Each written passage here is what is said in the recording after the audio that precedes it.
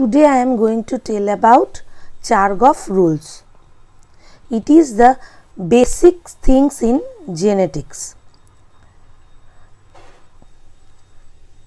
By chemical treatment, Erwin Chargaff had hydrolyzed the DNA of a number of organisms and had quantified the purine and pyrimidines release. এই রুলটা mainly বিজ্ঞানী চারগপ দেন, এটা হলো জেনেটিক্সের একটা basic rules উনি ডিএনএটাকে hydrolyse করে অর্গানিজমের ক্ষেত্রে দেখান যে তার পিউরিন এবং পিরিমিডিন তার থেকে যে রিলিজ হচ্ছে, তার পরিমাণটা কীরূপ। He studies shows that showed that in all double stranded DNAs 50% of bases are purine and 50% are pyrimidine. তার মত অনুযায়ী, এই দ্বিতন্ত্রী বা ডবল স্ট্যান্ডার্ড ডিএনএতে ফিফটি পারসেন্ট বেস হলো পিউরিন সমন্বিত এবং বাকি ফিফটি পারসেন্ট বেস হলো pyrimidine more important the amount of adenine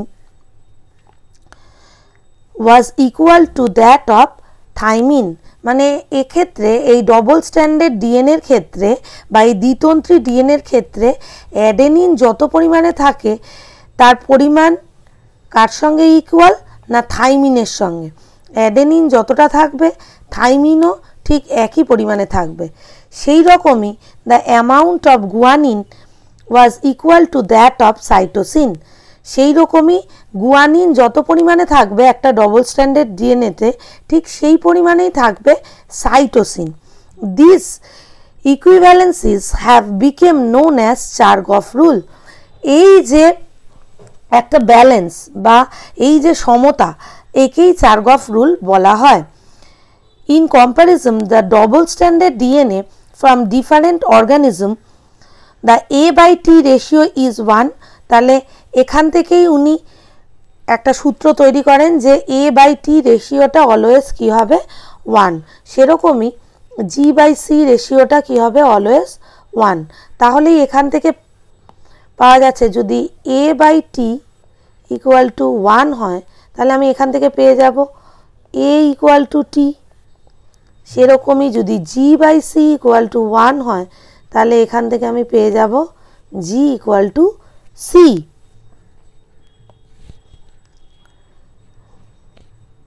next দেখো but the A plus T by G plus C ratio varies because the amount of purine equals the amount of pyrimidines তাহলে এর থেকে কি পাই?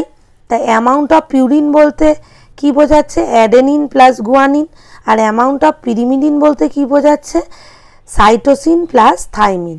এই রেশিওটা কি হবে না ওয়ান হবে? The amount of purine equals the amount of pyrimidine তাহলে এটার থেকে আমি কি পেয়ে যাচ্ছি?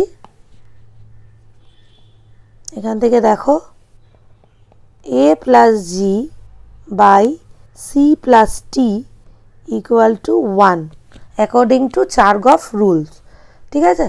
এখানে অ্যাডেনিন প্লাস গুয়ানিন, বোঝাচ্ছে হলো পিউরিনকে, টোটাল পিউরিন, আর সাইটোসিন আর থাইমিন বলতে বোঝাচ্ছে টোটাল পিরিমিডিনকে।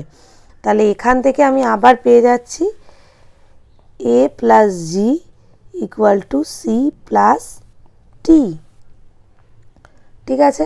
তাহলে আমি এই চারগফ রুল থেকে আমরা কি বুঝতে পারলাম? যে বিজ্ঞানী চারগফ যে জেনেটিক্সের ক্ষেত্রে একটা নতুন সূত্র আলোকপাত করেন, সেটা হলো ডবল হেলিক্স বা দ্বিতন্ত্রী ডিএনএ সমন্বিত।